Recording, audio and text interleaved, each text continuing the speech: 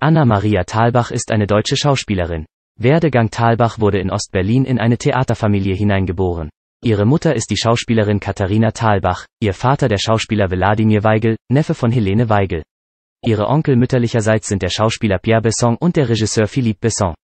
Ihr Stiefvater war der Autor Thomas Brasch, ihre Großeltern mütterlicherseits die Schauspielerin Sabine Thalbach und der Regisseur Benno Besson. Bereits als Kind spielte sie kleinere Rollen. Nach der mittleren Reife machte sie eine Ausbildung in Grafik und Modedesign an der Lette-Schule.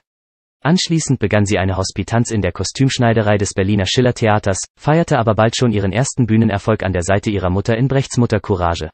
Ihr Spielfilmdebüt gab sie 1990 in Haagbohms Herzlich Willkommen. Für ihre Rolle in Zärtliche Erpresserin wurde Anna Thalbach 1993 auf dem Filmfestival Max Oppus Preis als beste Nachwuchsdarstellerin ausgezeichnet. 2001 erhielt sie für den Tatort Kindstod den Deutschen Fernsehpreis in der Sparte Beste Schauspielerin in einer Nebenrolle. Anna Thalbach ist auch als Hörbuchsprecherin tätig. Für ihre Lesung des Romans Painted Black von Jeanette Fitch wurde sie 2008 mit dem Deutschen Hörbuchpreis als beste Interpretin bedacht. 2014 wurde sie für das kleine Gespenst für den Deutschen Animations-Sprecherpreis beim Trickfilmfestival Stuttgart nominiert. Sie hat eine Tochter, Nelly Thalbach, die in die Fußstapfen ihrer Mutter, Groß- und Urgroßmutter trat. Sie spielte in Maria an Callas und veröffentlichte 2005 mit ihrer Mutter die Audio-CD Unsichtbare Wegbegleiter. Von Engeln und Schutzengeln. Seit 2014 tritt sie in der ZDF-Quiz-Sendung der Quizkampion als eine Expertin für die Kategorie Literatur und Sprache an.